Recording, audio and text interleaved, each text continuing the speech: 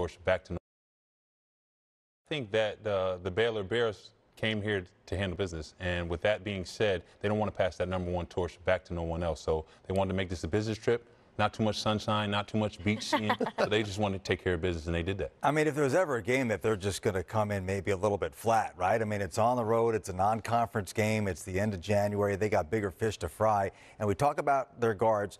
Their defense has been outstanding. Florida shot one for eight from three point range in the second half. And I want to talk about those two glue guys, and Mark Vital and Freddie Gillespie. They were great on the interior and especially on the glass. They combined for 17 rebounds. Baylor was plus 11 on the boards. Kerry Blackshear, nine points, three for five from the field, and he's Florida's big inside stud. Their toughness, Baylor, and their size and physicality inside and their excellent defense is why they're the best team in the country right now. Just bearing down on every opponent, it seems. Well, the first game for